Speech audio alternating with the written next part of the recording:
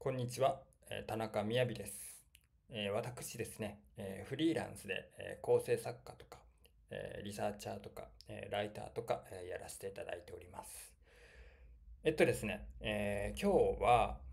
あの、私、今先ほどフリーランスと申し上げさせていただいたんですけれども、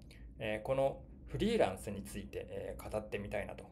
思っております。えーこれからあのこの動画あらかじめなんです。申し上げさせていただきますが、えーこれからフリーランスになりたい方とか、えー興味ある方に向けて、えーお届けできればなと思うんですけれどもあのまあ一般的にフリーランスって、えーすごいなんか、えー危険に満ち満ちているというかまあ、えーリスクを取れる人じゃないと、えーなることが許されないというか、えーなると危険な、えー職業なんじゃないかと言われていると思うんですけれども、まあ、えーどんなフリーランスになるとしても、えー最近だったらウェブ、インターネット関係、プログラマーとか流行ってるんですかね。えーちょっとわからないんですが、まあ、とにかく、えーいろんなフリーランスであるとか、一人親方であるとか、えー独立企業とかいろんな形態あるとは思うんですけれども、まあ、一般的にその、えー危険、えー安定とはかけ離れていて、えーまあ、リスク思考の人が選ぶ職業だって、えーいうイメージがあるんですけれども、まあ、実際私がこの、まあ、会社員をやったことがないんで僕逆に。なので、まあ、結局ポジショントークにはなってしまうかもしれないんですけれども、まあ、決してその、えーリスクテイカーだけがあのフリーランスになっているわけじゃないというかむしろその安全に人生を渡っていきたい、えー人にこそフリーランスって向いている側面あるんじゃないかなと、え 私思ったんでちょっとその件についてお話しさせていただきたいなと思うんですけれどもまあ僕はちょっとそのフリーランス以外の選択肢を取ることができなかったんで、えーまあえーまあ、先ほど申し上げたように、えーポジショントークになってしまうかもしれないですけれども、まあえー実は僕この結構そのフリーランスって結構、えー一般的に言われることって収入が上下するみたいなめちゃくちゃ変動あるみたいな、こと、えーイメージがあると思うんですけれども、まあ、よくお笑い芸人さんとかがあのその、えーなぜこういうふうに言われるかっていうよくお笑い芸人さんとかが、えーなんか売れてない月はこんな、えー収入しかなくて今売れてるからこんだけあってでも、えー一発屋だったからすごいガクンと下がってみたいなそういうお話をするからなんかあのまあ、お笑い芸人さんも自営業なんでフリーランスなんでそ、えーなんかそういったイメージがついちゃうのかなと思ったんですけれども、えーまあそういうのは逆に結構レアなケースなんじゃないかなと私は思っていてもちろんその収入が安定しないというか毎月、え全然、え額が違う時もあるっていうのはもちろんあるんですけれどもあるにはあるんですけれどもまあ工夫次第では工夫というかまあ多くの方がそうかなと逆に僕思うんですけれども結構月で固定でこんぐらいの額をいただこんぐらいの月である程度の額で契約させていただいてクライアントとそれで進めているっていうフリーランスが結構多いと思うんですよ。あのプロジェクト単位でフリーランスでやっぱ参加するんでこのプロジェクトから月いくらこのプロジェクトから月いくらとかまあ、僕だったらあの、えテレビ業界なんで、えーこの番組がレギュラーで、え1週間放送されるごとにいくらみたいな形で契約させていただくこともあるし、まあ、月で、えー放送回数と関係なくこれぐらいもらえますっていう分のもあるんで、まあ、いろんな形態あるんですけれどもあとはまあ1回しか参加しない単発のやつはその単発の分だけもらうとか。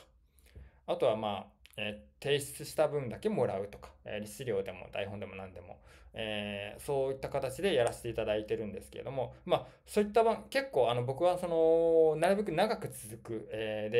ーでこれからずっと長く続いていって、えまあ、老舗番組だったりとか、えまあ、安定してるものを自分選ぶというか、まあ、そういう依頼が来るっていうのもあるんですけれども、えっていうのをしているからもあるんですけれどもまあ結構その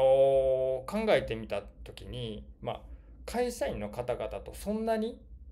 収入状況が変化しないんですよね。まあ毎月こんぐらいはもらえるなっていうのをまあ大体予想できてあだ大体その通りになった、えー、大体その通りになった。で、えー単発の仕事もあるから、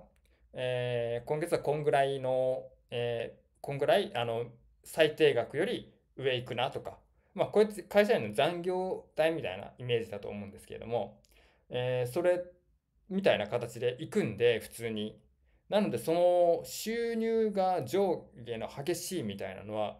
まあ、正しくはないかなと思うんで、正しくはないかなという、まあ、完全に正しくないとは言わないんですけれども、えー、まあ、それが、まえー、全員が全員そうっていうイメージ、ことではないんで、まあ、収入に関してはまずそれが言えるっていうのと、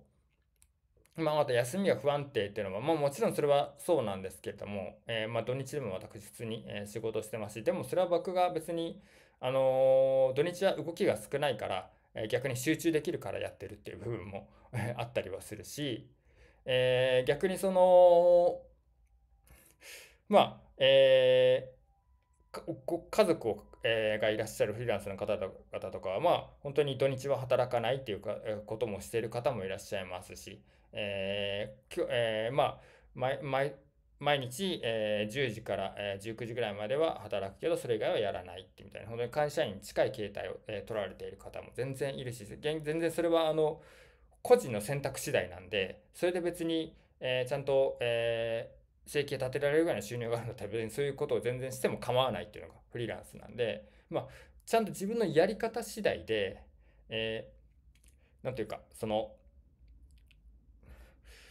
会社員というか会社員時代と同じような、えー、生活のスタイルっていうのは、いや生活のスタイルも収入のスタイルも選ぶことができる。それが、え、フリーランスなんで、決してそのリスクに満ちているっていうようなことでは、えー、ないと思うし、その不安定とかそういったことでも、やり方次第ではないなっていう部分が、え私としては思っております。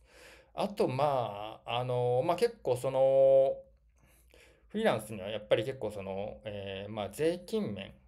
でのメリットが結構大きいんで、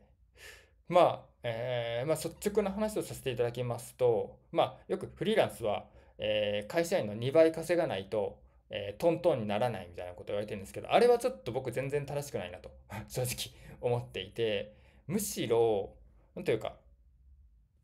ちゃんと、ちゃんと税金に関して、しっかり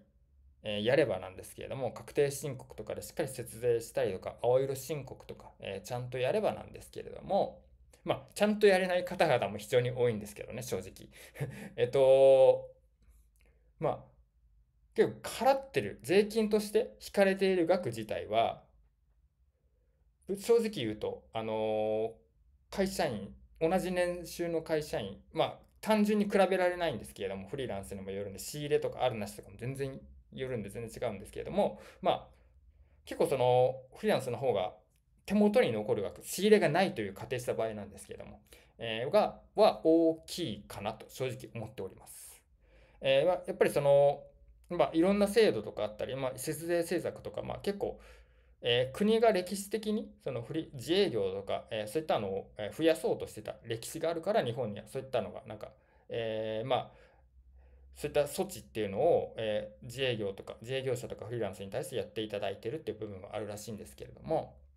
まあ、そこら辺をちゃんと活用していくいったりとか、まあ、イデコであるとか小規模企業共済であるとか、えー、やっていけばその税金、えー、あの貯蓄しながらでしかもそれに、えー、利回りがつきながら、えー、さらに節税で効果があるみたいなこともできるんで